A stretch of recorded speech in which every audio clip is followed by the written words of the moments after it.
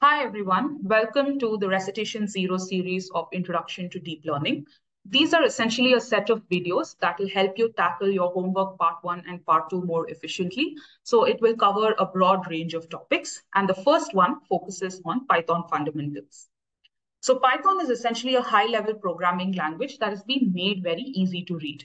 It's very widely used in deep learning, data science, and analytics. And while there are other programming languages that do this too, this course will primarily focus on Python because this is what is most commonly used in the real world. So let's look at different concepts, starting with data types. Python supports different data types like numeric data types to represent whole numbers and decimal numbers. You have string types to represent either a character or a sequence of characters. You can declare them using double quotes, single quotes. The strings can have special characters, spaces, and so on. If you want to represent a true or a false value, you can use the Boolean type. And if you want to uh, represent the absence of a value, you can use the word none.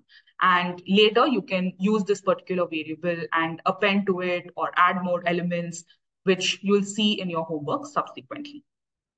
There are other data types that Python supports, which are tuple, list, flex, and dictionaries. All of these represent a collection of elements, but what really separates them is either the operations that you perform on them or how they store data. Tuple represents a collection of elements which are ordered, but they are immutable. So once you have a tuple, you cannot add to it or you cannot delete any element. List, on the other hand, also represents an ordered collection of elements, but it is mutable. So you can add an element or you can delete an element or move around the order once the list has been created. Coming to a set, it represents an unordered collection of elements, but only holds unique values. So if you declare a set with duplicate elements, it will condense all of them to only have unique values, and these don't have any particular order. A dictionary, on the other hand, represents a collection of key value pairs. So in the example given, whatever you see on the left in green is called a key, and whatever you see on the right in red is called a value. So whenever you want to uh, store some sort of association between variables, you can use a dictionary. Coming to logical statements and loops. So a logical statement is the if and else statement, where based on a particular condition, uh, the program will execute the appropriate block of code. And in order to write these conditions, you use logical operators like and, or, and not, which is why this is called a logical conditional statement. Coming to loops, if you have a block of code that you want to repeatedly execute, instead of writing them again and again, using a loop makes it more efficient. So if you want to iterate over a sequence like list, tuple, or string, you can use a for loop. In this example, we are iterating over a list. You can also iterate over a function like range, where if you say for a in range of 10 and print a, it would print numbers from 0 to 9. So if you want to execute a particular block of code, say 10 times, you can use a for loop.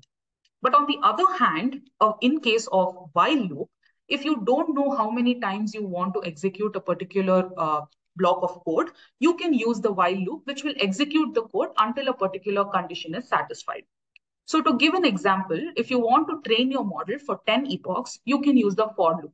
But if you want to train a model until the accuracy is 95%, then you can use the while loop because you don't know how many epochs it would take for it to converge to 95%. Let's now look at functions. Python supports both built-in functions and user-defined functions. We've already seen some functions like print and range previously. Uh, there are other functions like min, max, len, and so on, uh, which are very clearly explained in the documentation. So I highly recommend going through this. You also have uh, very specific functions uh, which are specific for different data types like string, list, and dictionary. So uh, when you go through the documentation, you will understand in more detail how to append it, how to uh, delete elements from it, how to sort them, and so on. Coming to user-defined function, if you want a particular block of code to perform some function that you want, which the built-in functions do not support, then you can use the def keyword followed by the function name and write any block of code that you desire. An example here is about how you can use the if and else statement and put it inside a function so that when you call it, it would perform and run that particular piece of code. Next, coming to recursion. This is an example of a user-defined function where a function calls itself until it solves a particular problem. So every recursion will have two cases. One is the base case, which defines when the function call will stop, and the recursive case, which is uh, called every other time. So if you take the example of a Fibonacci sequence, it is basically a sequence where a number is the sum of the previous two numbers. So in this case, the recursive case will be the sum of n minus 1 and n minus 2. And this will keep happening until we reach 0 and 1. And in case we reach 0, we return 0. In case we reach 1, it returns 1. So those would be the cases which define when the recursion finally stops and returns back to the function call itself. Coming to exceptions and error handling. So whenever you uh, write your homework part ones and part twos, you'll come across a lot of errors. And looking at the type of error will give you more insight as to where something is going wrong so that you can go and debug it in uh, a more efficient way. So you can have syntax errors, indentation errors, name errors where the function or variable is not defined, or you can have type errors where you're performing some operation on data types that are not compatible with each other. Some more error types are index errors, where you attempt to access uh, some element that is out of range in a particular collection of elements. You can have key errors while accessing dictionary keys. You can have the zero division error or not implemented error.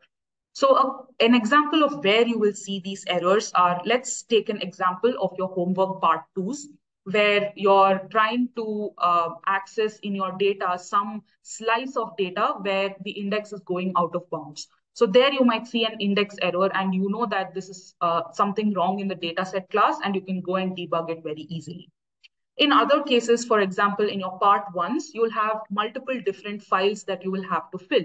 In which case, if you get a not implemented error, you can easily see that um, you have missed out on implementing a particular block and it has nothing to do with the actual logic of whatever you have already implemented. So in this way, you can look at each of these errors and find out uh, what could mostly be the problem with your code. But in case uh, it gives a very vague error, then you can look at the recitation debugging to understand how you can uh, dive in more depth and try to debug these in more detail. This finishes uh, the recitation for Python fundamentals. Uh, we will also be attaching a notebook along with this video where all of these examples that we just went through will be present. So you can run them, change their values, play around, and try to understand these in more details. Thank you.